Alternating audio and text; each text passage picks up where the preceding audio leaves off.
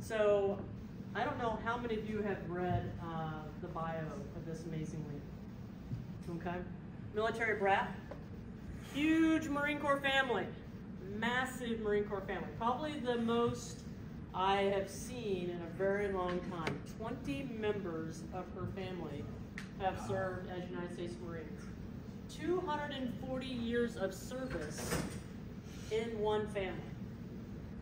So she is a true legacy uh, within the family. And mom and dad, drill instructor and recruiter, right? Which who was which?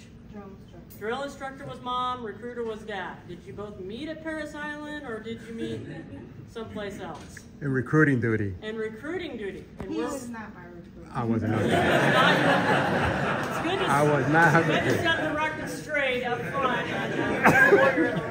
We're good with the statute of limitations. I think you're set. All right. But a, a great family story. All right.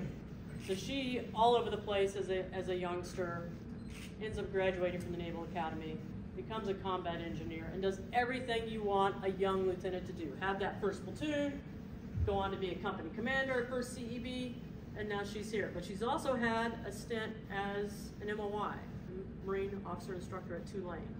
She's had quite a lot of experiences already before she pens on major. I mean, a really phenomenal career. So we are excited to have her here on the Southcom team. So proud of her, and we met uh, 2019. So in 2019, uh, I was that colonel that walks behind the four star with the bag. We call him a military assistant. So that's what I was doing for the assistant commandant on the Marine Corps. Uh, Walters or Thomas at the time. I can't remember which one. Thomas. Thomas in 2019. And we were at Belleau Wood. We, were, we met at the ambassador's residence Yes, in France was the first time we met. So little did we both know way back then uh, we would be both here today.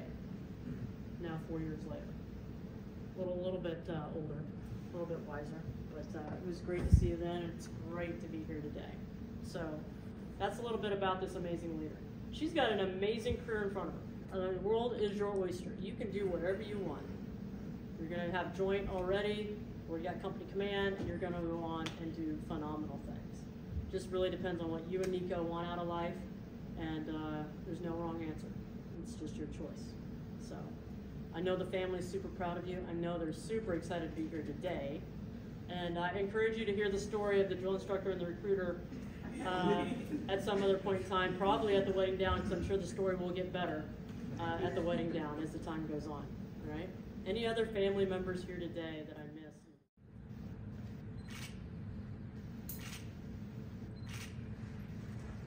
Nicely done. All right, new major. Everybody, let's first, before I read her the oath, give a round of applause for the new major. Raise your right hand, repeat after me.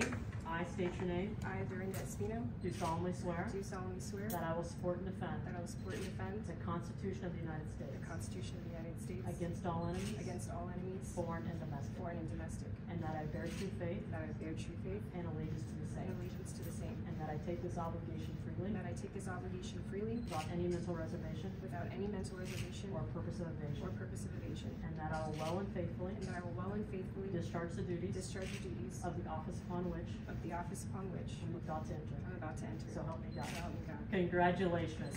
Round of applause.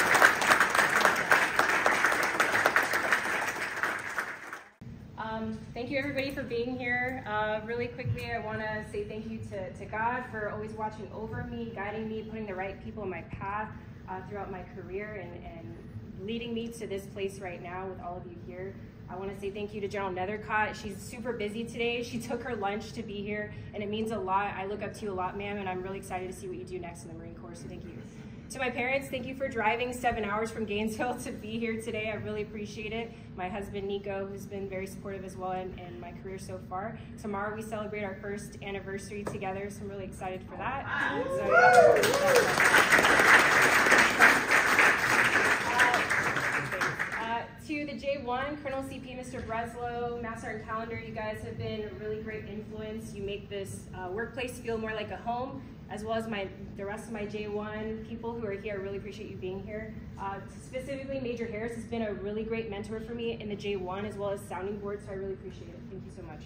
Um, to my J1-3 division, so Mac, Master Soto, Paola, Staff Sergeant Winchester, Sergeant First Class, uh, Samuel, thank you guys so much. Uh, you guys make me want to be a better version of myself, and you guys put a lot of work in for the division, so I really appreciate everything you do. And to my Marine elements and Marine retirees, uh, all of my uh, Marine reservists who are here, aka the Marine Mafia, thank you so much for showing up.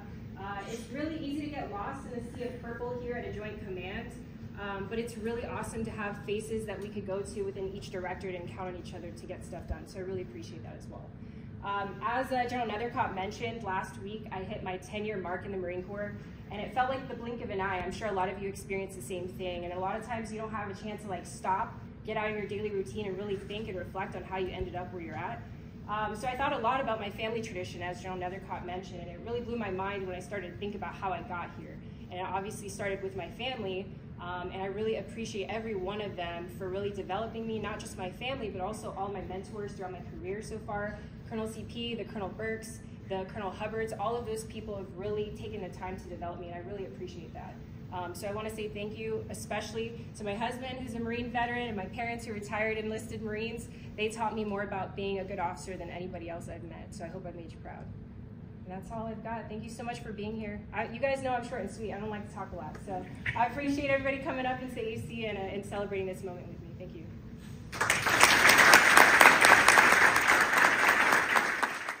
Family? Make me look tall. One, two, three. One, two, three. Okay, well, let's keep it close.